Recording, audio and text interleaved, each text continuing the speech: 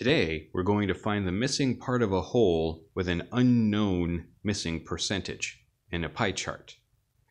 To do this, it takes two steps. First, you have to find the missing percentage.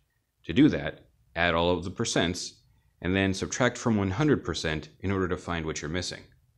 Then, in order to find the missing number, the missing part of whole, use that percent you just found to set up a proportion and solve for x. Here's an example. A test was given, and here's the grade distribution on that test. 80 students in total took the test. 10% made an F, 10% made an A, 30% made a B, 20% made a C. What we need to find out is how many students made a C. Step 1 requires us to find the missing percentages. If we take all of the percentages we do know and add them up, we'll be able to find the percentage of students who made everything but a C.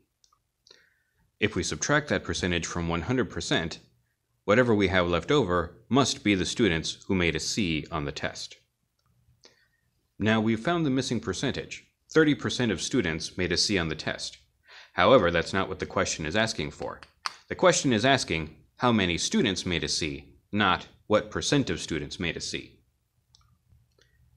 Step 2 involves setting up a proportion.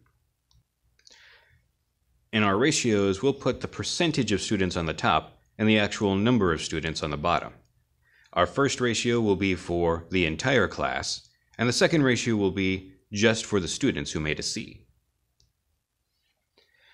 100% represents the total student body, so that's 80 students. For just the C students, we know that they make up 30% of the class. As for how many actual students that is, we don't know, so we'll represent that with the variable x. We'll use good old-fashioned cross multiplication. 30% times 80 is 2,400. 100% times x is 100x.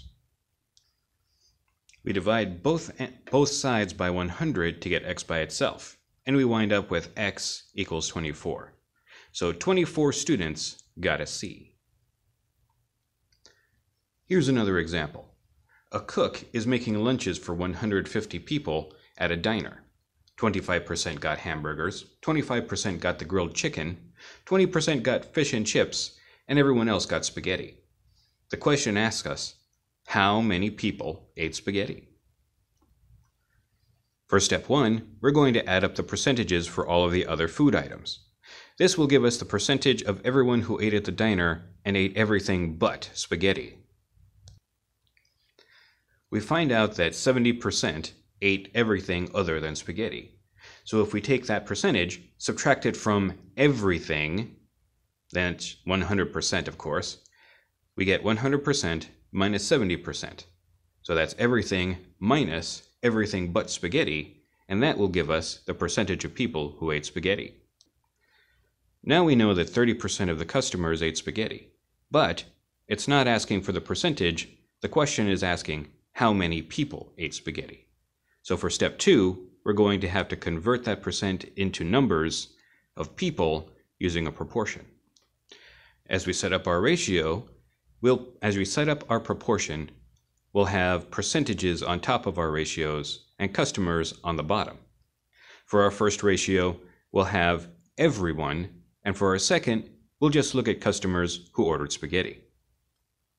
When we talk about everyone, we're always talking about 100%. According to the problem, 100% of customers was everyone, and we had a total of 150 customers. 30% of them ate spaghetti, but we don't know exactly how many customers that is, so we'll use a variable x. Using good old-fashioned cross multiplication, we can see that 100 times x equals 100x, and 30 times 150 equals 4,500. We divide by 100 on both sides to get x by itself. And so we find that 45 equals x.